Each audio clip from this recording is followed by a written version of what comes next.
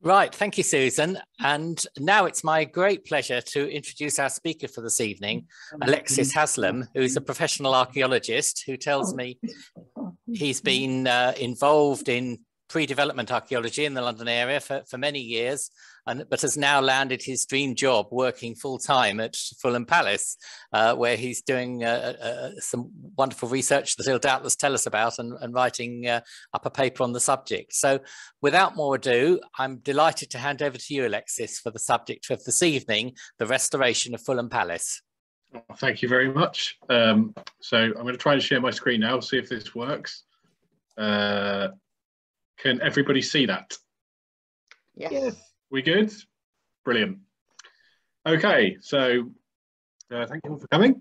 And uh, my lecture today is um, on the restoration of Fulham Palace, uh, a project that I get involved with really uh, back in 2017. So I've been there for nearly five years now.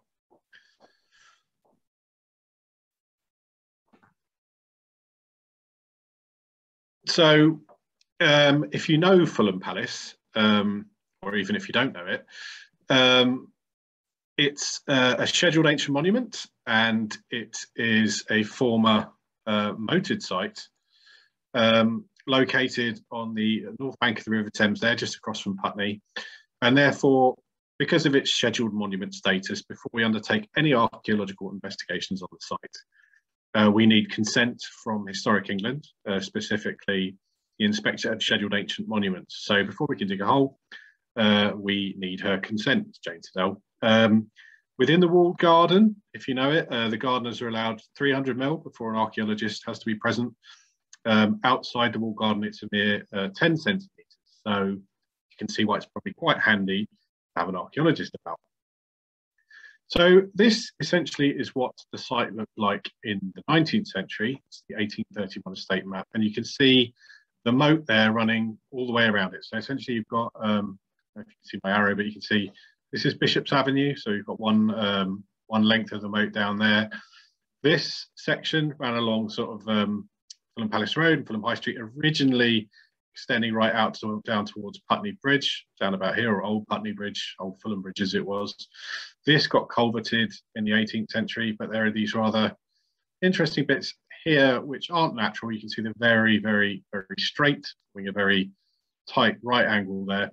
And so I've been doing quite a bit of research into, into those legs of it. But essentially you have to imagine originally the site was almost like a little island um, with uh, a kind of uh, channel running down Bishop's Avenue, one down Fulham uh, Palace Road and Fulham High Street, creating kind of an ayot or an island on the Thames. So essentially it's kind of an island on the River Thames, just like you get Chiswick or Brentford or places like that. So things have changed a little bit since I wrote this. Um, the age of the moat um, is unknown, um, although Iron Age or Danish origins have been suggested. I think I've managed to, to quash those uh, kind of theories, to be quite honest. Um, but the archaeology on the site goes back an awful long way. So we have that kind of Mesolithic, Neolithic, Bronze Age, and Iron Age activity on site is very, very busy in the late Mesolithic to early Neolithic. An awful lot of struck flint on the site dating to that period. We've also got evidence for fourth century occupation on the site. We've got ditches, we've got some structural evidence, so very late Roman settlement as well. And the manor of the bishops of London established on the site during the Saxon to medieval period. So it becomes part of uh, the land of the Bishop of London as were in 704. And the moat uh, is first documented 1163 to 80, and it's called the Magna Fossa or the Great Ditch in 1392. So those are kind of the first historical references we have towards it. So big alterations undertaken on the site itself during the 13th, 14th, 15th centuries, and the palace itself was at its maximum size in the 17th century. So the very late 1600s, early 1700s. If you, uh, if you know the site, the walled garden as it is now, um, that was established during the tenure of Bishop Terrick. So he was Bishop of London between 1764 and 1777. So the palace itself was almost like a summer house for the bishops, uh, one of the uh, one of the few manors that survived right through, with the last Bishop of London not actually leaving until 1973. So the question really is, why is this site so important and what makes it so special and what, what makes it such an attractive place for for uh, people to come and visit and live on for thousands and thousands of years. Um, when we look here, we can see the geology map and the site itself on those Kempton Park River Terrace gravels um, just over here. Uh, and those are very free draining, uh, very nice soils. Uh, the land rising from the Thames up towards Fulham Palace Road. Um, and one of the most important things really is the concept that the site was uh, right next to a ford. So uh, if you have to imagine back in time, the Thames was much wider and much shallower, shallower and essentially um, you could cross from um, from Fulham to Putney and vice versa, just about where the current um, Putney Bridge is. Um, but essentially, it was a fordable point, which makes it a, a, very, very significant and important point in the landscape. So the site of Fulham Palace has been part of the Bishop's estate um, since 704 and remained uh, as a manor house of the Bishops of London um, as an official residence up until 1973 when the, the last uh, bishop left. Um, then fell into the sort of hands of the council um, and the Fulham Palace Trust taking it over in 2011. So uh, Bishop's residence uh, is recorded on the site as early as 1104. Um, again, I've changed sort of my ideas about this. Some people uh, refer to, they think that the first, um, the first sort of manor itself was in the northwest corner of the site. I actually think it's um, uh, further towards the north of the palace now. But during the 13th century, the palace was rebuilt in its current position. So if you if you visit the palace today, uh, the location of the palace itself has pretty much been there in one form or another since the early 1200s.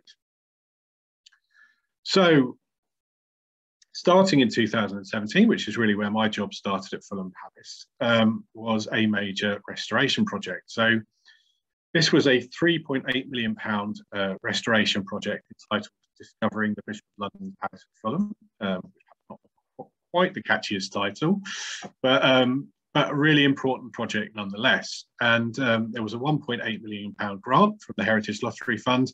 The rest of it was uh, was crowd funded, and the main thing that um, was necessary to, to be undertaken was really to restore our Tudor quadrangle. So this is the quadrangle here uh, for, for those that know Fulham Palace, um, constructed between 1493 and 1495.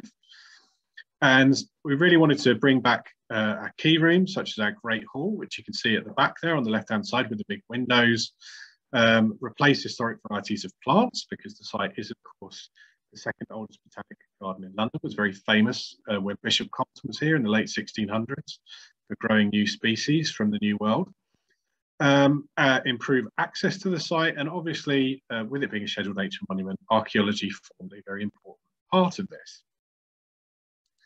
So my job at the moment is to look at all of the archaeology on the site, which really began in an excavation in 1972, and to piece it all together and, and really tell the story of the site. But as you can see from this plan here, the number of digs that have taken place, and those sort of red lines all over the place, uh, just show you the extent of kind of the work that I have to do to, to make head or tail of it all. Um, it's certainly been very busy over the years. Um, but the first thing that I had to do um, as part of the restoration project was not only we were restoring the, um, the, the rooms of the palace, creating a new museum, and and making uh, the palace itself uh, restoring it to what it once originally would have looked like. But essentially, um, the excavation I was asked to undertake was to locate a dovecot. So you can see this plan here. This is what the, the, the palace looked like in 1764. Uh, we have our Tudor forecourt or a Tudor quadrangle just sort of here. Uh, the funny shaped sort of trape trapezoidal thing. And then this is kind of our medieval core here. Um, Sadly, this was knocked down in the renovations of the 1760s. A lovely old chapel went. Um, but down here, um, the bottom left, you can see a kind of octagonal structure there, which was a dovecot. So one of the ideas was that we could dig a trench, we could try and find, uh, locate and excavate this dovecot. So before we started digging, we undertook a geophysical survey in 2013, looking for this dovecot. Um, And we got scheduled monument consent from Historic England to dig two trenches to look for the dovecot and something interesting here. So the things you can really see cropping up on this geophysical survey here are a very interesting large blob that you can see here, it looks slightly linear, but also this sort of straight red line over there. So we're interested in trying to find out dovecot and then trying to perhaps find out what this red line might have been. So the excavation really, this uh, provided an opportunity for, um, for, volunteers to get involved with it. So we have a huge uh, volunteering program at Fulham Palace, um, the largest in the borough, uh, to get school groups in um, to hand dig on the site of a, a, scheduled ancient monument, as well as uniform groups like brownies and guides and scouts and cubs, um, and as well as that, I run a young archaeologist club as well, so to get them involved in the excavation too. Um, to be undertaken, obviously under professional supervision. So a real opportunity to get involved with an excavation. So these are the two trenches that I came up with that I thought would be good to, to dig. Um, the larger one at the bottom there to try and find that dovecot, and the, and the sort of uh, thinner uh, rectangular one um, at the top, uh, looking for that rather strange red line at the bottom. So um, this was the excavation under underway here, and this was the large trench at the bottom, looking for the dovecot. But what's kind of interesting about this is you can see this kind of in, uh, intriguing kind of white sort of uh, mortuary layer starting to turn up there. So as I was saying, lots of community engagement. Every day um, we did um, ask the archaeologists for the general public to come along and ask us uh, questions.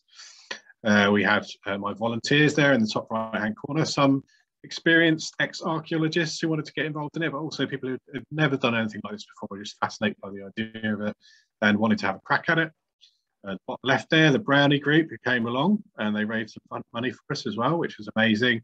And then in the bottom right, that's my young archaeologist club there. So obviously they were they were very heavily involved with the excavation um, as it went on. So this is what the trench looked like, the large trench, uh, looking for the dovecot. Um, you can see it in the back section there, very that, that, that kind of mortuary layer again, looking like a sandwich. But probably what's most important here is down the front, you see there's two slots excavated here.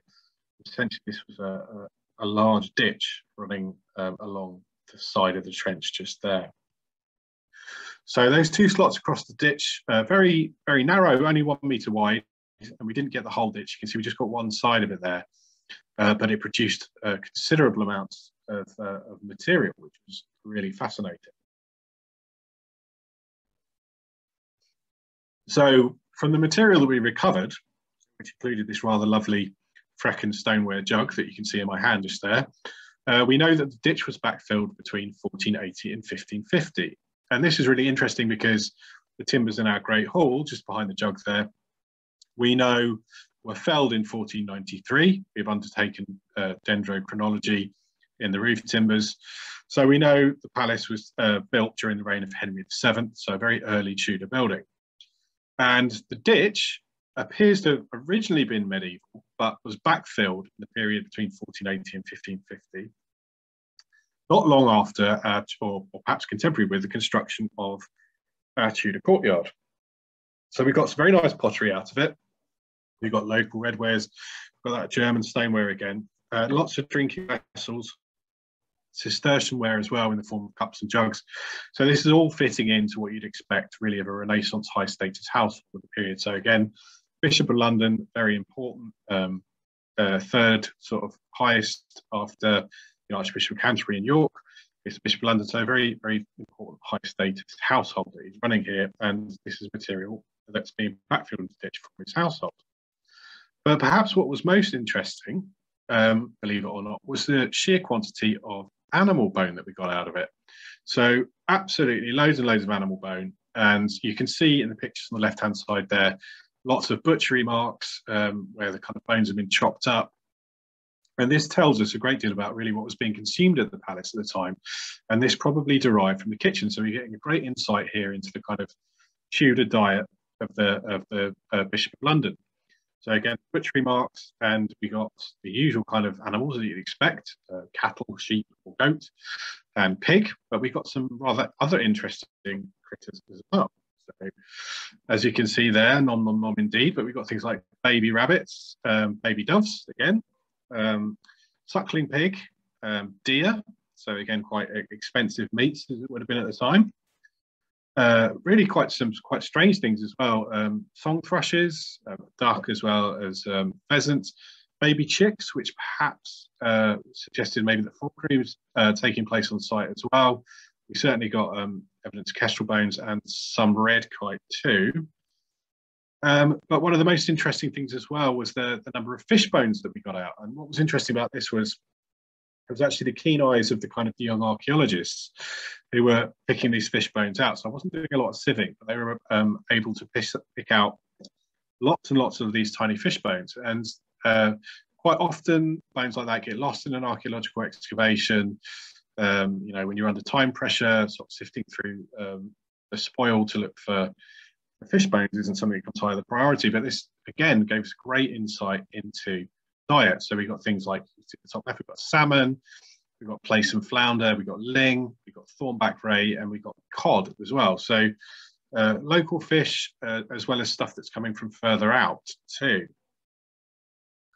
Uh, and perhaps one of the, the most interesting things we got as well was um, turkey bone, which is um, really interesting if you think that the ditch was backfilled between 1480 and 1550. Actually, the first historical reference to turkeys in Europe dates to 1520, the birds obviously coming from North America. Uh, and they're supposed to have been introduced to England by William Strickland uh, in either 1524 or 1526 when he brought them back to Bristol. Uh, sort of contemporary bones in Exeter, 1520 to 1550, and St Albans again, 1534 to 1550. Uh, our date, 1480 to 1550, fits quite comfortably with that. Again, interestingly, they're uh, all on ecclesiastical sites. But these are certainly, um, at the moment, the earliest dated turkey bones in London. It may well have been that the turkeys were brought in as showbirds rather than um, for eating because they fan, rather like a peacock. Um, but yeah, certainly so far, the earliest in London, and we quite like having a lot of fun at this uh, Christmas, saying, you know, who's got the oldest turkey and all that sort of stuff. Uh, but yeah, very important find. So we were wondering really where where is this these huge quantities of animal bone clearly butchered and, and what's being served at the, at the bishop's table? Where is it coming from? So this map you can see here is an interpretation of a parliamentary of 1640 a survey of 1647 so when uh, during the civil war when the bishops of london or the bishops were done away with uh, the, the, sites uh, ecclesiastical or episcopal land was sold and quick surveys were undertaken and Fulham Palace was no different. The Bishop of London was uh, was turfed out. Uh, a survey was undertaken, and it does record a kitchen garden on the southwestern side of the palace, uh, just over here. my arrow just there. Uh, kitchens down here, but there's also supposed to be a slaughterhouse somewhere just down here um, on the moat. So if you think our ditch is just in front of the palace, just there, slaughterhouse over, it's not really that far away uh, from the kitchens and the slaughterhouse. So that's probably where our animal bone is deriving from. We got some absolutely lovely small finds out of the ditch as well. So dress accessories like lace chains, pins, a purse ring, which is essentially sort of metal, um, metal ring sort of thing that you put inside your purse to stop cut purses slashing it. As you can see in that uh, picture above left, we've got a die. Uh, this is actually called a teetotum. It's made from antler, um, and at the moment, we can't actually find any contemporary parallels to it. But interestingly, Fulhams was an historic term used to describe false or loaded dice between the 16th and 18th centuries, certainly mentioned uh, by Shakespeare in the Merry Wives of Windsor.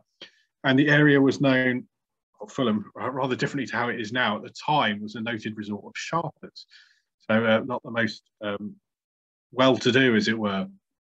But we also got a nice coin of Elizabeth I there, which suggests perhaps the final infilling of a, a ditch as it gets levelled off completely, uh, taking place between 1630 and 80, and then a, another final deposit between 1720 and 1660.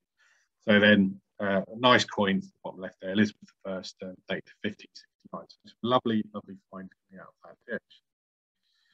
So the question really, what is this ditch used for? Why is it here in front of the palace uh, in the medieval period? Uh, obviously, no longer seen as necessary and backfilled between 1480 and 1550. But it's still sort of, you can still see things sort of connecting to the moat even here on the Ordnance Survey maps of the late 19th century. So we know um, between 1461 and 1483, that there was a great, the Great Hall was situated behind what's called a quay. So it may well be that, uh, that could have been associated with a key or something like that. Um, and you know, again, as I was saying, that these sort of features, although they're in, filled in, they're still sort of bits sticking around in the late 19th century. So once that ditch is filled in, the area that we're excavating, essentially between 1680 and 1750, is open ground, and it seems to have been used for dumping material. So we've got some nice um, clay pipes out of there. This one's uh, dated between 1640 and 1660 and has a nice Agnus Dei stamp on the bottom, the lamb flag just there. Um, and as I was mentioning earlier, that kind of um, uh, mortuary layer became really, really interesting. And we think that's laid down or dumped between 1750 and 1760. So that dump layer produced some rather interesting plasterwork. So as you can see here, we've got some rather nice uh, grotesque faces um, appearing. So they look a little bit like the Green Man. So these are dumped in the area between 1750 and 1760. And we cleaned all those up. Again, volunteers involved in the fines processing. They're all trained in it, how to box the material up, how to mark it, how to tag it. So this was all um, cleaned up, cleaned up the plaster, and it was sent off for specialist analysis. There you can see all the lovely plasterwork that came out of that horizon, that dump layer, uh, dating to between 1750 and 60. Um, and the, the plaster expert, she looked at it and she said that there were three schemes present. Uh, looks like bits of ceiling and overmantel, uh, molded and sculpted elements, uh, probably dating to the early and some bits maybe late 17th century. 17th century plasterwork has obviously been ripped out of the palace and dumped in the paddock area between 1750 and 60. And interesting, this ties in with Bishop Sherlock's renovations in both the Great Hall uh, at this time and also when he built his grand dining room between 1750 and 60. So it looks like Sherlock's made changes to the palace, he's ripped the ceiling down and he's dumped it out in the paddock area.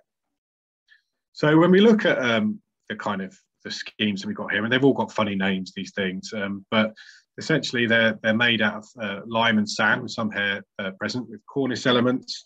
And they've got these names like Cavetto and ogee and things like that, um, leaf and dart and acanthus leaves. Uh, all really, really, really nice um, high status pieces of plaster. And also uh, things like these gourds, these grapes, leaves and tendrils, and terminals. And so these appear to derive from a high foliate a high relief of fruit and foliate garland. So this would have been on the ceiling and it would have been very, very fancy indeed. As well as these grotesques that you can see, those faces I mentioned, and this cartouche, which funny enough was actually found by Brownie. So we are doing well with our community archaeology there. Um, and the cartouche might have come from something like an overmantel, but it's, it's very, very high status uh, plasterwork. So when we were sort of researching how old it might be, the, the most comparable ceiling that we can find is actually Ham House. Um, so uh, which which is still there, this ceiling. So William Murray uh, got Ham House in 1638, and he renovated it in the style of Inigo Jones. So the plasterwork here at Ham House was undertaken by an individual named Joseph Kinsman. It certainly wasn't cheap, costing seven shillings and sixpence a yard, and as you can see, when you look at this, this fruit and foliate garland, it looks really similar to the kind of things that we find we found uh, dumped out in our paddock area with those kind of grapes and gourds and melons, and tendrils and um, uh, kind of terminals as well. So the question really for us was how old is our plaster? So we know that it's dumped between 1750 and 60 during renovations. Again, it looks like that Inigo Jones style. He was surveyor to the Royal Works in 1615, probably not dating to the Commonwealth period. Um, the Restoration, again, a period of austerity. Um, we know that Bishop Compton was far more interested in spending his money on plants than on buildings because in 1714, his successor, Bishop Robinson, actually had to pull the state wing of the palace down because it was in such poor condition. Uh, and of course, by that time, the scheme that we're looking at here was well out of date. So the question we were asking is who commissioned this work? And we think it was Bishop Juxon, who was Bishop of London between 1633 and 1649, later to become the Archbishop of Canterbury after the Restoration. And the reasons for this, um, we've his coat of arms was found in the grounds, or technically in a load of rubbish around the back of the house, according to a 19th century document. Um, but whenever a bishop uh, undertakes any form of building work at the uh, at the at the palace at Fulham, generally they put their coat of arms up. So we always get the two cross swords, uh, which represent the Bishop of London, as well as their own personal coat of arms, sort of on the right hand side. So the mitre and the cartouche look somewhat similar. It's around about the right time, and obviously in 1636, uh, Bishop Compton must have, sorry, Bishop Juxon must have done quite serious renovation works because he had this um, this lovely coat of arms made up. So all these wonderful things I've been talking about, lovely finds, uh, but you'll notice I haven't mentioned the dovecot. So um, what do we know about this dovecot? Well, in 1764, before the large-scale renovations of the palace under Bishop Terrick, a dilapidation survey was undertaken, and the Dove House, as it was, was recorded in a poor state. Uh, it needed repair and points to the external brickwork, the tiles, the turrets, the twining posts, which should have been um, inside the um, the Dove House itself, repairs to the door, uh, new hinges, etc., etc. So the problem we've got here, obviously, is if our plaster is done between 1750 and 1760, and the dovecot was still standing in 1764, then we certainly were in the wrong place to find the dovecot if it was still there. So unfortunately, we didn't find the dovecot, but I'd like to think we found some other very, very important aspects of the palace um, and quoting that geophysical survey of 2013, there is no clear recognition of the footprint of the dovecot. So I actually think it's probably further, further to the sort of northwest towards what's now a nursery area. And we probably didn't miss it by too much, but it wasn't wasn't where we were digging. Uh, we can see it here on the Rocque's map of 1715. Um, you can see the kind of the dovecot just there, that kind of dot in the paddock. Um, in the outer court, a fair brick tough house standing in the southwest corner there of a house wherein dwelleth Robert Lee, the housekeeper of the aforesaid mansion. So I think we were just off there a little bit. Um, but never mind. Found some great stuff instead. So um, we also found this dog, which is now in our museum, uh, very popular, interestingly, with, um, with school groups. And it's not very old, it's 19th century, but um, it's a big dog. And uh, the skeleton is male um, it's massive sized, massive sized, and arthritic. And we think it's probably Bishop Tait's dog who had a mastiff called the Grand Old Captain. So I kind of, I'm pretty certain this is Captain, and he now resides in our museum for everyone to have a look at as they wander through. But getting back beyond the archaeology to the restoration of the palace itself was one of the main aspects of it was to restore our brickwork, which had really, really suffered over the years from uh, poor repointing, things like black ash mortar were used in the Victorian period, concrete and cement used in the 20th century. None of these are conducive to um, to what a Tudor, you know, an early Tudor structure dating to the period of Henry VII should look like. So we had to do a lot of repair work on our brickwork and repointing. Now, uh, getting Tudor bricks isn't that easy, and we had to go to a company called H.G. Matthews, who uh, now make Tudor bricks using traditional wood-fired methods. And this was a, a trip that we made by our Conservation in Action team um, up to H.G. Matthews to see them making our bricks. And here you can see their wood-fired brick kiln.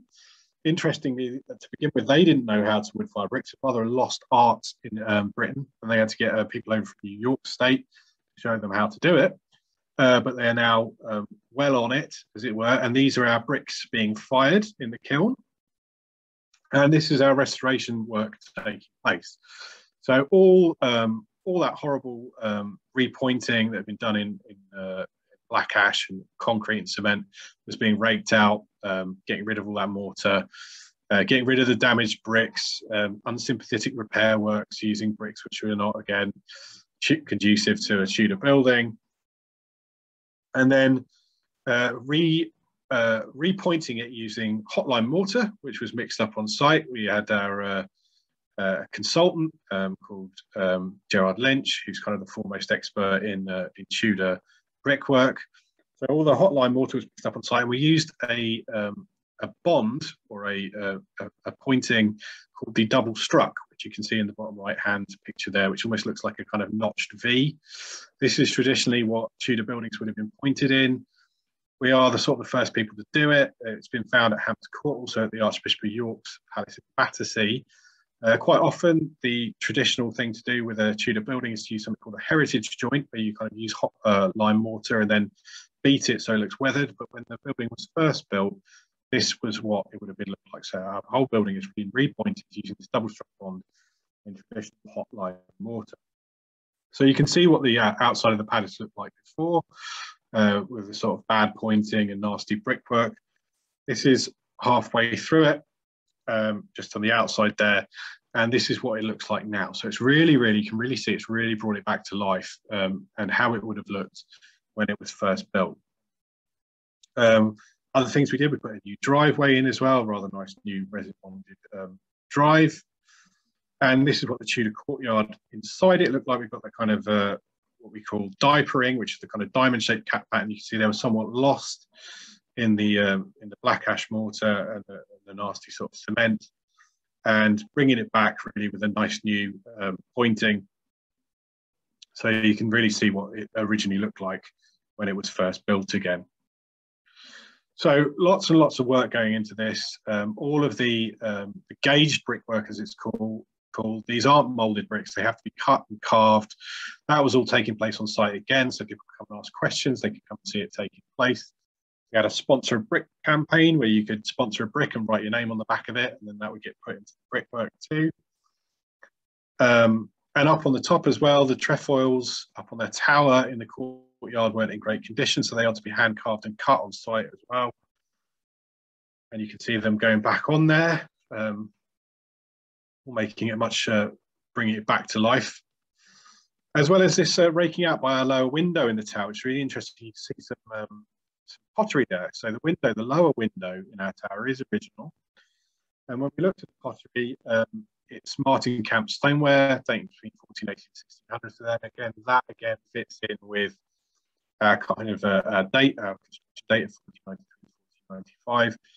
And this material, you know, builders have obviously used packing between the brickwork and the um, and the lower window there.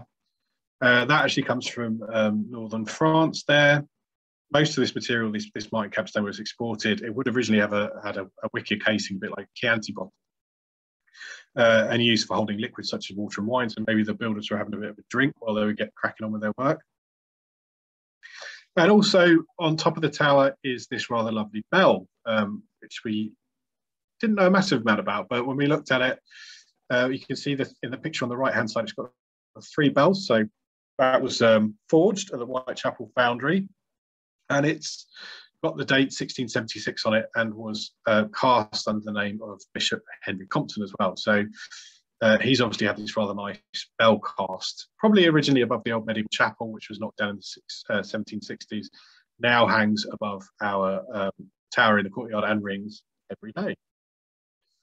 And the other interesting thing that we found um, above our large Tudor arch, which is the main entrance to the palace, was when we raked out there, was we found these rather wonderful um, oyster shells lodged between um, the cross joints on the bricks.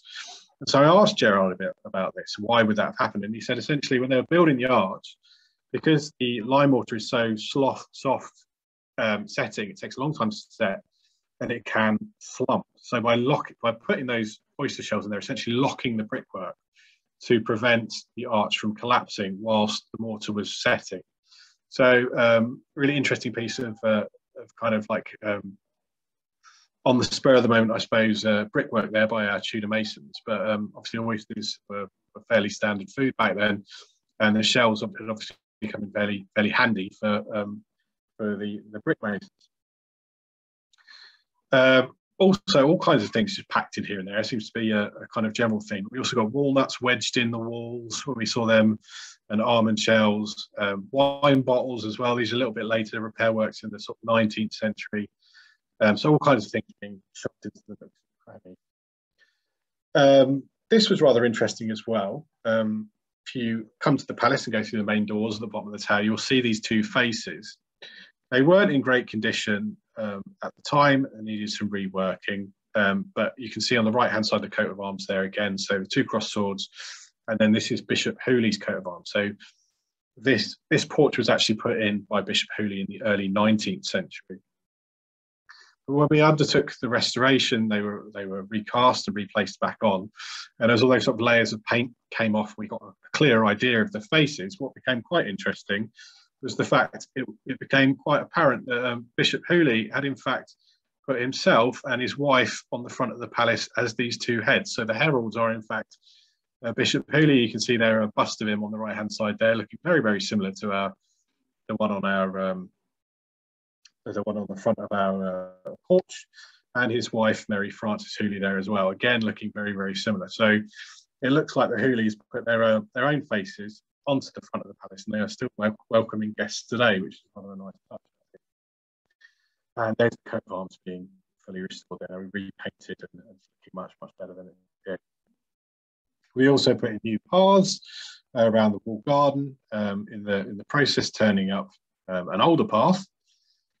Um, and the general things coming out there as well. So expanding right through into the 20th century here, uh, not a very deep excavation, uh, but we got a few things, sort of uh, R. White's uh, lemonade bottles and ginger beer bottles. So if you're into that kind of thing, R. White's established in Camberwell in the 19th century. Uh, by 1908, producing half of all the ginger beer and lemonades in England, taken over by Whitbread in 1969 and not quite as big as it was back then. Uh, as well as sort of crisp packets that came out. It's quite funny. It does show that plastic doesn't disappear. Uh, I think this dates from about 1975. Um, slim discs giveaway on it, um, including, I think this one was uh, the glitter band, cheese and onion flavour, uh, obviously. We also um, put a new um, path in to All Saints Church. Um, this actually crosses part of the moat. And in putting this in, we actually found uh, an older bridge, not that old, but it's known that it's been a bridge between the palace and All Saints for a very, very long time. Um, going back again to 1647, that parliamentary survey, it, it records a moat encompassing all the four-sided premises over which two footbridges on the south side and a horse cart bridge on the west part thereof. So we think this is one of the footbridges. Uh, 1900, um, Fèret, who wrote um, kind of the main text on Fulham really, he records two bridges with a main drive, which comes off Bishop's Avenue, and a drawbridge, which is this one here, or certainly there was a drawbridge here. This one is much later, um, dating between 1900 and 1924, uh, when the moat was backfilled. Um, so this may have gone in because uh, a more sort of sturdy iron bridge was required, um, possibly for the sort of um, kind of uh, sort of events that took place. We had a few, um, Bishop of London, Winnington Ingram had a few kind of carnivals, as it were, in what's now the allotments. Perhaps uh, a new bridge was required to get the numbers of people that were visiting across the site. We also had some really interesting finds within the building itself as we were redoing uh, to create our new museum and some new office space upstairs. We found this rather lovely 17th century toy plate underneath the floorboards, uh, which has had four holes punched into it, possibly uh, to be used as um, a set of scales, toy scales. And I had personally had a lot of fun in the roof space. So we know um, that originally the palace, and certainly in 1647, had rooms in the roof and that they were being used. Um, as it records a great room with the chamber by it a chamber with two studies and three little rooms by it over the lodges and washhouses on the west part of the court. So this is in the uh, above the Tudor arch, right up in the roof. Um, we've got these lovely walls. They're still there. Um, I was amazed when I came across them. Um, constructed from staves with these. We've got daub, which you can see in between them, the, uh, the main uh, timbers there. Uh, these are probably associated with the little rooms. Um, a lot of the timber uh, Tudor roof was still up, um, still extant on this side. The, the, current roof is later, but they left bits of the roof up there. Obviously, too much to uh, effort to bring down, and you can still see lovely elements of the Tudor, the Tudor carpentry work up there. Everything's mortised and tenoned like this lovely mortise and tenon joints, no nails or just uh, wooden dowels. And you can really see there kind of principal rafters, wind braces and purlins. Um, so really quite amazing space to get into. Um, and I was I felt quite privileged to be up there to be quite honest. It was it was really intriguing. Um, and they're very similar again to, to the construction of the Great Hall roof, which is obviously much wider and double purlin. But again, those wind braces, all the construction is the same, which again, with that 1493 to 1495 date from the um, dendrochronology, definitely suggests the Tudor, Tudor courtyard is very contemporary, built within a very short space of time. We've got a few carpenter's marks as well. These are really interesting. You can see two lines there. Um, and the kind of inverted V, uh, essentially kind of almost like a flat pack system. So the carpenters knew which timbers joined together when they were building it. Uh, but perhaps one of the most intriguing things that we came across was in this room, which is in the second floor of the Tudor courtyard. Again, previously been an office, um, was being uh, uh refurbished. Um, again, still an office now, but you can see rather a plain looking wall. Uh, but when we took off the um, plasterboard, you can see a 19th century wall behind it with those lines on it. And then behind that, a much, much earlier wall, which is all hand painted. Uh, and there, with the plasterboard removed, you can see this rather fantastic hand painted work. Uh, and this was really quite confusing. I'd never seen anything like this before. And we had to get the experts in fairly sharpish, to be quite honest, because we didn't really know what we were looking at. So when you look quite closely at it, you can see the wall itself is very similar to the ones in the attic. It's a, a daub um, but it's been painted over in these rather striking colours that sort of stripy and they look slightly kind of um, almost floral with sort of like a, know, it's like bamboo or something like that. So we got the uh, the paint expert in, Catherine Hassall. She took some samples and she told us again, yes, the wall is made from plaster and timber, just like in the loft. Plaster again made with lime grit. There's hair and straw present, and initially it seems to have been unpainted, so the paint wasn't original. Uh, lime wash was then added to the daub, um, but this didn't go over the timber, so it's plain, painted plain white. Later on, another lime wash added, which did go over the timbers. That provided the base, for the paintwork with a total of eight colours used in the scheme. Orange going on very last. Uh, it's an aqueous chalk-based uh, paint mixed with glue or gum. It's probably late 16th, early 17th century. I'm actually thinking more like mid 17th century now unusual that it's got no political content and heraldic symbols, but then we have to remember that we've only got one of the walls out of what probably were originally four. So conserving it was interesting. I'd never seen anything like this before. Um, it had to be treated with this material called tylose, which is like a cellulose-based glue, uh, stop the paint from flaking. Timber had to be dealt with differently with a, an acrylic dispersion glue. We had a few slip panels we needed putting back. Um, they had to be injected with a grout um, designed specifically lime and daub, so it's on set. But essentially, we managed to preserve the wall, um, restore it, and unfortunately, it is now in an office. Uh, but we put a, a, new plasterboard over the top, but with windows in it, you can see it. So the idea originally was, hopefully, with something like um, open house, people would be able to come and see it. But with the pandemic that's occurred, um, unfortunately, that hasn't been able to take place yet. But a really interesting wall. And probably the most comparable one we could find is the Silk Merchant's House in uh, Marlborough. And this was uh, built by Thomas Bailey in 1653. And interestingly, uh, I personally think the paintwork was probably commissioned by uh, Colonel Edmund Harvey at Fulham Palace. He took over the palace when um, Bishop Juxon was kicked out um, during the Civil War. Uh, he was a parliamentarian, but he was also a silk merchant. So quite comparable, really, to what we're seeing in Marlborough. So again, part of uh, the, the restoration project wasn't just about the building and the archaeology, but also about the gardens. But again, to restore those uh, specimens that Bishop Compton um, grew here, some of them have quite deep roots. And again, we had to undertake archaeological excavation to provide planting beds. So we dug two trenches. Um, uh, this was one of the first ones, but um, and this is the, the one to the south. This is between the walled garden and All Saints Church. Again, we got in uh, Brownies guides, Beavers, Cubs, and Scouts, as well as my Young Archaeologist Club again, as well as school visits from the Moat School and Jack Tizard. Um, so again, another opportunity to do what we've been doing before with people getting involved with the excavation and and um, and enjoying learning how to excavate, how to record, how to bag and process finds as well. So unfortunately, uh, the northern of the two trenches uh, didn't quite go to plan. We discovered asbestos in there, so we had to call a stop to that. That appears to have been dumped in the 1970s. it looks like the council dug a hole, um, filled it with rubble, um, and then dumped all the leaf sweepings from Fulham on it as a drainage system. And of course, back then, asbestos wasn't illegal like it is now. Uh, and asbestos present meant we just had to abandon the trench. And rather shockingly, we now have an area of contaminated waste on what is a scheduled ancient monument. Um, so that put paid to that trench. But things, you know, can see there lots of crisp packets again. So I've got pretty firm dating, to be quite honest. Um, uh, they've all got sell by dates on them, so I know when that rubble went into the ground, really. Uh, but we had a bit more fun in Trench 4 anyway. So we got this uh, path, you can see on the left-hand side there, that aligns with the wall gardens, got to be after 1764, um, not very well built, but, but uh, you know, very much so present. And we can see a path just outside the wall garden here on this, this uh, map of the 1950s. So we know, we know that's uh, our last bit of archaeology there. Nice finds as well. Uh, 1897 coin of Queen Victoria. A to it might have been worn as a medal or something like that. Planting beds again, rather fitting for the Compton dig.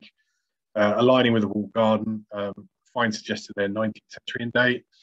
Uh, and interesting that these sort of globules of clay in the fields, which I think that might have been used for water retention. Although I did chat to the gardeners about it, they didn't think it would have been particularly effective. But they're kind of interesting to see gardening techniques of the 19th century there.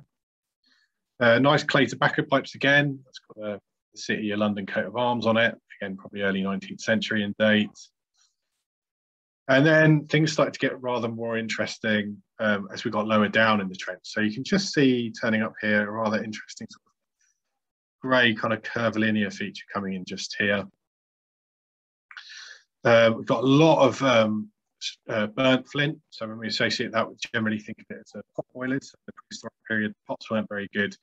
So to heat water, they generally filled them with water, heated the flint up through in the water to heat it. Uh, but again, really nice struck flint again there. Um, lots and lots of um, struck flint off the site. It's one of the largest assemblages of uh, work flint in the London region. It's very obviously a very important site in the late Neolithic to early Neolithic transition nice Roman ditch just along the edge of the trench. Not very, not very deep, but again, got this rather nice Roman brooch out of it as well. So that's all fitting with our Roman history.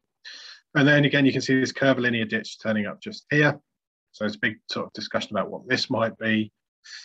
Um, prehistoric can be quite difficult to interpret at times, but from what we can say from what we found here, we didn't expose all of this ditch, this curvilinear ditch, but there was no terminal and no entrance. We've got no post holes with it not a lot of material, so that suggests it's not a roundhouse. So you haven't got people living there, so it's what we call a drip gully, which goes around a kind of prehistoric uh, roundhouse.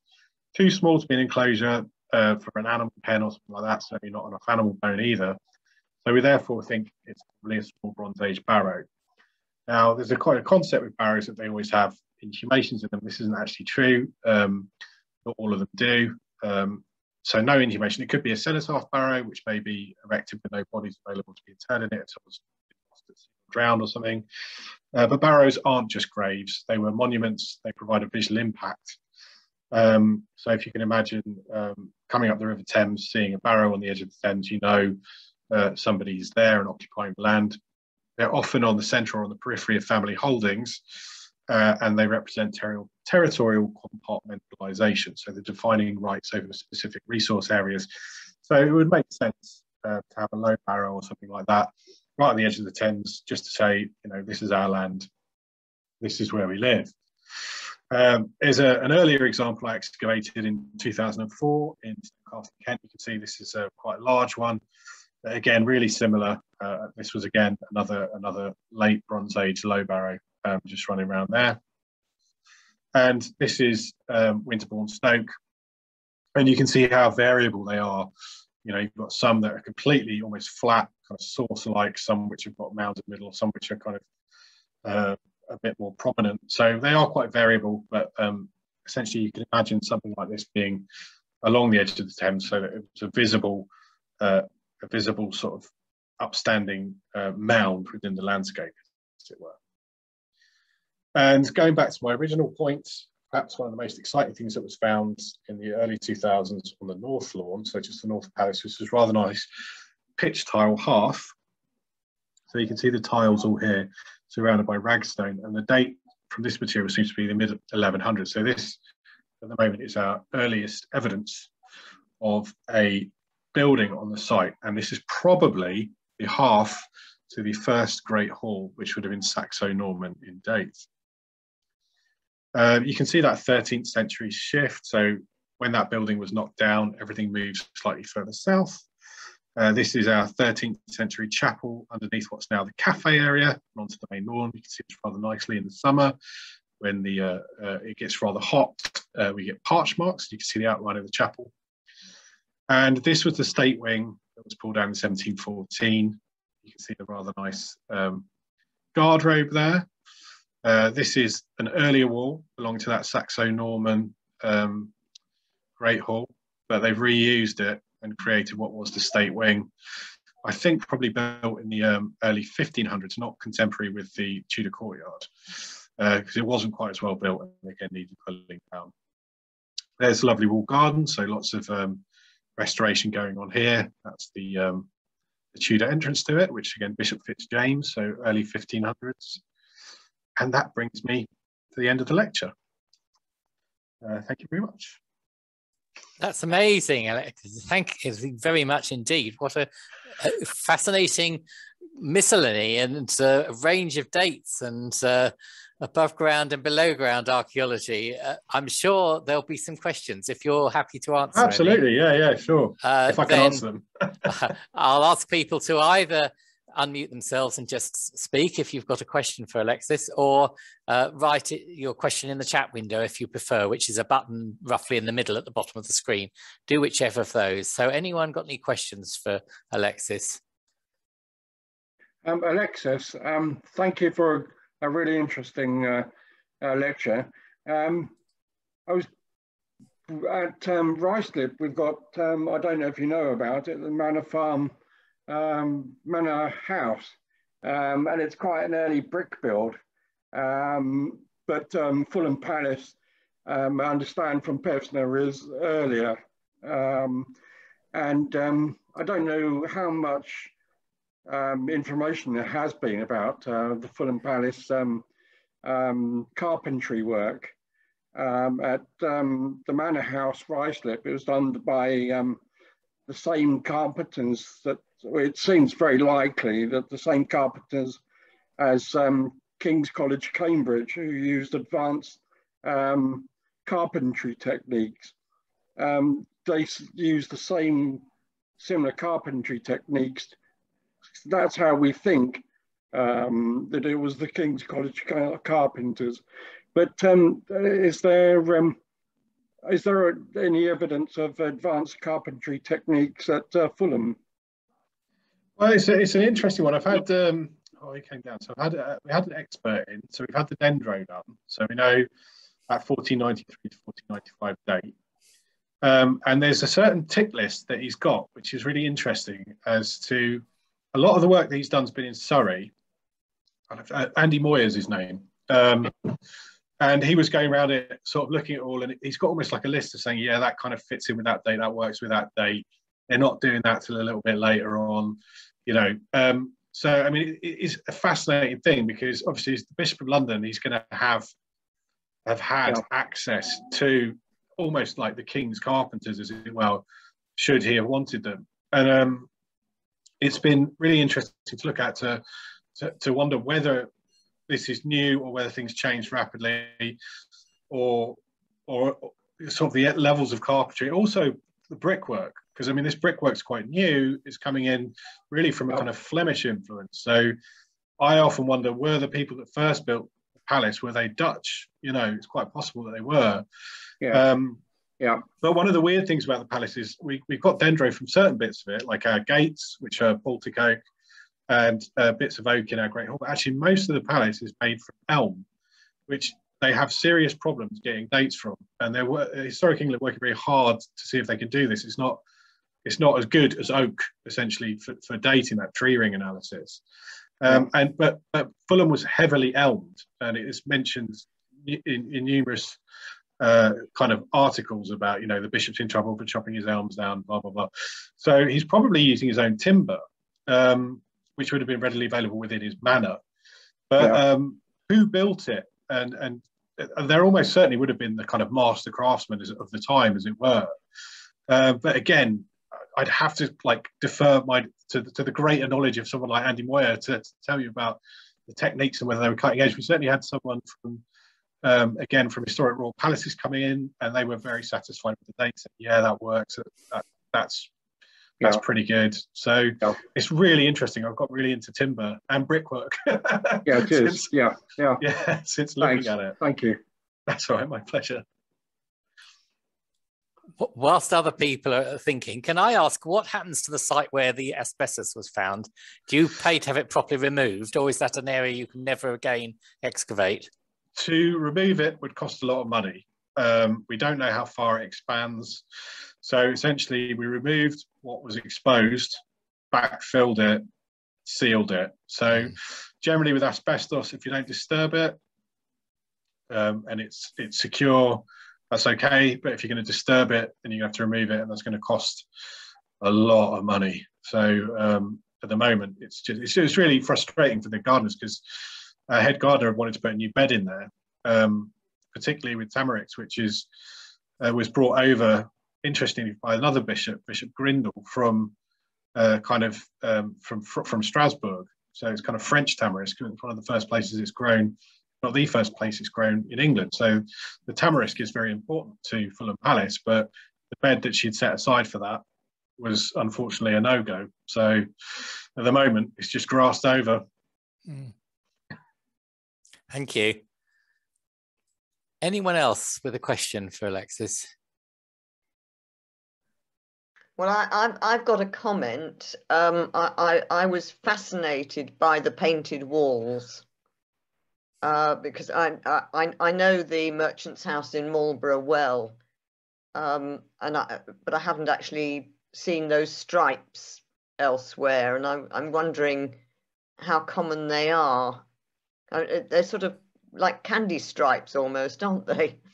Yeah. So the theory is that we've got at the moment is that both um, the, the the silk merchant at Marlborough and perhaps Colonel Edmund Harvey are representing their silks through these paintings. Ah. So that's what it's really funny because I, I, emailed uh, the merchant's house uh, saying, you know, like, you know, because on the website says, you know, this is unique. There's nothing, you know, um, and I was like, well, we, have got this. We think they're really similar. And the email I got back was from someone saying, and it said, hi, Alexis, I haven't heard from you for a while. It was one of my volunteers from 2014.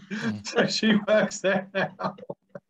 but yeah, well, I quite like, there's a few weird things we've got coming up. Um, I quite like to connect with them on that level uh, because I think they're very similar. And actually, Colonel Edmund Harvey was uh, a member of Parliament for Great Bedwin, which is just down the road from Marlborough. Oh, yeah. So I'm almost certain these two guys knew each other. They probably had very, very similar interests, uh, certainly in terms of what they were doing. And it just, honestly, the Civil War period is just so bizarre uh, with the interweaving um, people that we're mm. seeing cropping up time and time again. Um, and it, it's just really weird. But that wall was a, a real surprise um, and really fascinating. It's just so frustrating that it's in a place that the general public can't see it. Yeah. But it, it, it, it, does suggest that it, it, it was a bit of a fashion in certain circles. I think so. Yeah, I'd say so. I mean, it's it's a way of of, uh, of really kind of showing off, isn't it? Yeah. And um, they're quite gaudy and mm. quite um, quite brash, yes. as it were.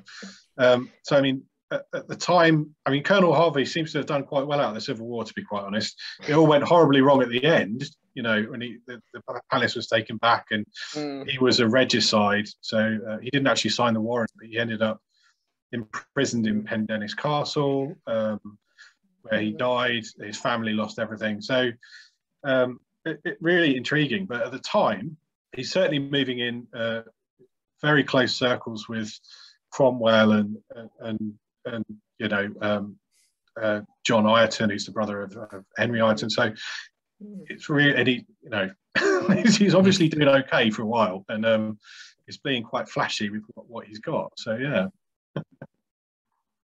Thank you. Thank you, Melanie. It's a lecture in itself, that one. mm, I'm sure. Does anyone else want to add anything or ask a question? Yes.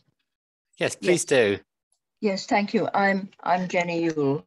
Um, may I ask a question about the the finds of the um, bird bones that were that um, uh, materialized in in the in the kitchen or the slaughterhouse or whatever it was at the time. Um, it was a very interesting collection of birds, and now. What about peacocks, or were they considered rather too exotic to be eaten by um, the, the, the, general public? Was there something about peacocks that were, was not allowed to be eaten, or were they just not available at the time? What happened to peacocks? Well, you got peacock bone as well. So they were still eating peacocks. Oh, oh you did get yeah, peacock we did, yeah, oh, yeah, Oh, sorry, I'm. Oh, sorry. No, no, I, just, I, just, didn't. I didn't have a photo of one. That was all. Oh, right. yeah, okay. I mean, this is the thing. Um, I mean, it was really weird with the, the sort of the small birds, like the small thrushes. You really do start to think about the kind of display that must have been involved in some of these um, these meals. And actually, the diet of the palace has been one of the main things we've really, really looked at because we've got the serving vessels, we've got the food. Don't forget, it's just two tiny little slots there that we put in across a massive ditch. Um, and, and, the amount we got from it was crazy. So, really get an insight into what they're eating. And it, even going back, we've got things like I think I got a, an eel that was some ridiculous size and a pike that was over a meter long and all kinds of weird and wonderful things that were coming out of these very high status diets. But um, yeah, I think the peacock obviously fans, but they were eating it. And then the turkey appears, and that fans too.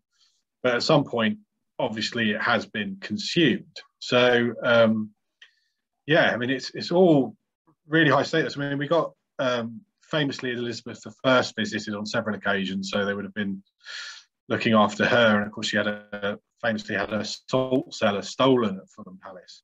Um, during one of her visits as well, which is something we like to play up on quite a lot as well. They did capture the two thieves, and we don't know, although we don't know what happened to them. So entertainment and, and a large household that it would have been as well uh, for the bishop suggests that you know all kinds of weird and wonderful uh, delicacies were being served at the dinner table. Thank you, thank you. All right, anyone else with any comment or question?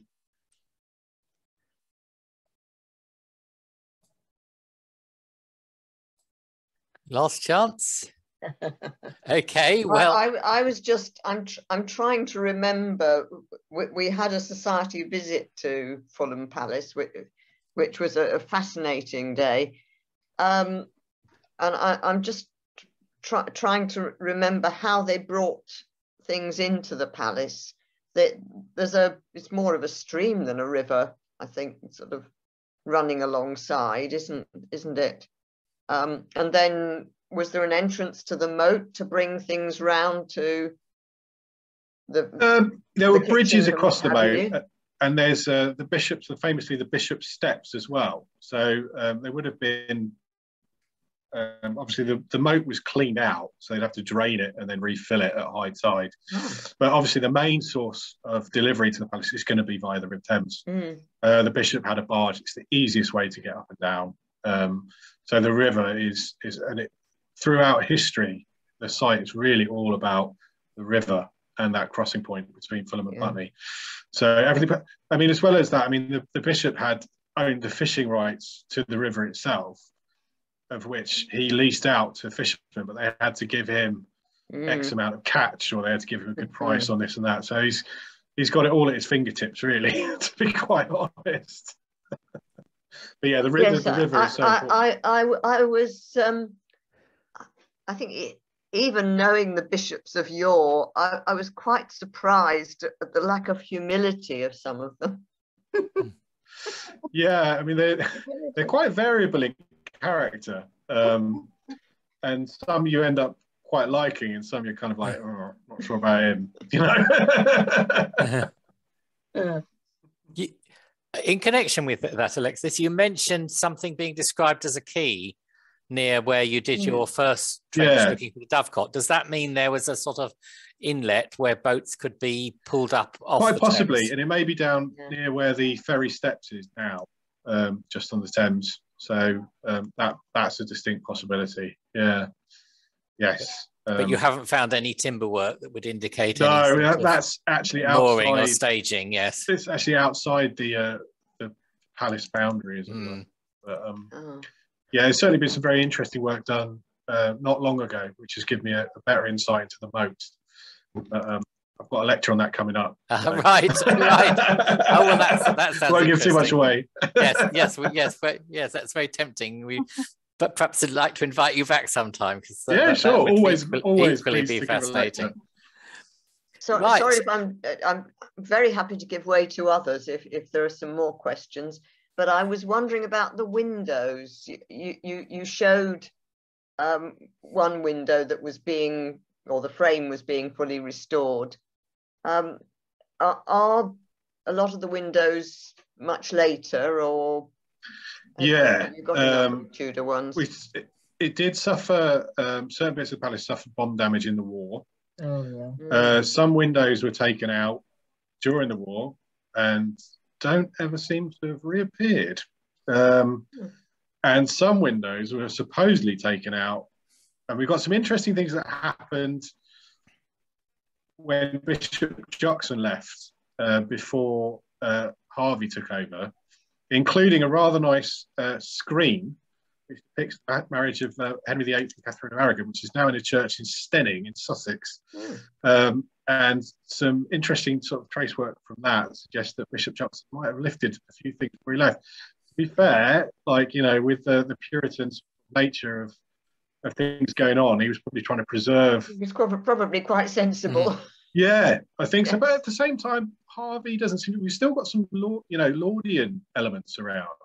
So Harvey doesn't seem to have gone full on Puritan on a lot of it, but it probably wasn't worth the risk. So I think Juxon mm. had a few things away, some of which came back maybe, but some of which are now ended up down in Steyning. But that's quite nice because I'm giving a lecture down there. It's the 500th anniversary of the screen. So um, I don't think we'll be getting that back, but like, it's, it's it's amazing looking. I can't wait to see it. So yeah, that's great. Doreen, you've put your hand up. Yes, I, am just um, just concerned about the, the asbestos. Is it not up to the council to remove it? And if it's washing into the river, is, is there some poison maybe washing from the asbestos into the Thames? So asbestos is a fibre.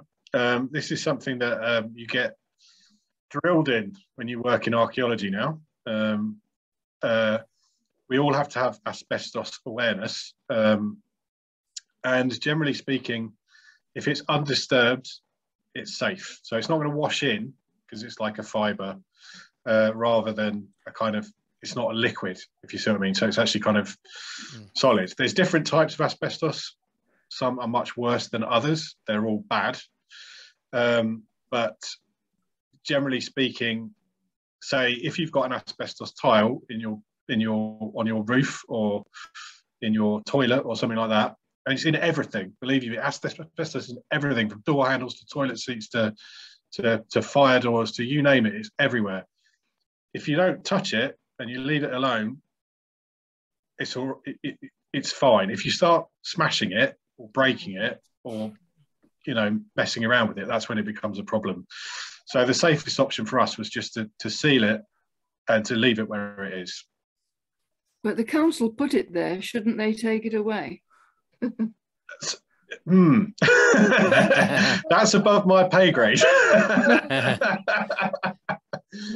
I will leave that to my ceo Thank you, thank you, Doreen. Any anyone else got anything for Alexis?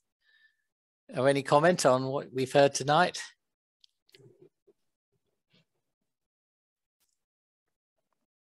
Right. Well, in in that case, it just leaves me to to thank you again, Alexis, for an absolutely fascinating talk, and I can see why it's your dream job because it uh, covers just about every period from the Bronze Age to the 1970s, and it covers below ground and above ground and crawling around in roof spaces, a bit of a favorite of mine actually, and uh, look, looking at uh, medieval timber work, plaster work and uh, bronze, bronze age monuments. I mean, is there any site in London that encompasses such a wide range of uh, different periods and uh, potential activities in a small area? It's, it, it's, it sounds to me to be brilliant, brilliant place to be. Yeah, it's great. thanks so much for having so, me. So, uh, thank you. It's that. been absolutely fascinating, a real delight, and uh, wish you well with everything you're doing at Fulham Palace. And we look forward to the time when we can uh, have another visit there as a society and uh, see the restoration and what's been happening since we were last there. So, thanks very much indeed, and, and good luck with everything. Thank you. My pleasure. Thank you. Thanks a lot. Thank you And much. just to remind everybody, the next meeting is on the 21st of March when we're uh, being addressed by uh, Dorian uh, Gerhold on Old London Bridge and its houses circa 1209 to 1761. So that'll be another fascinating talk. So do join us then on the same Zoom link uh, in on the 21st of March. See you then. Okay, bye everyone. Thank you. Thank you. Bye bye.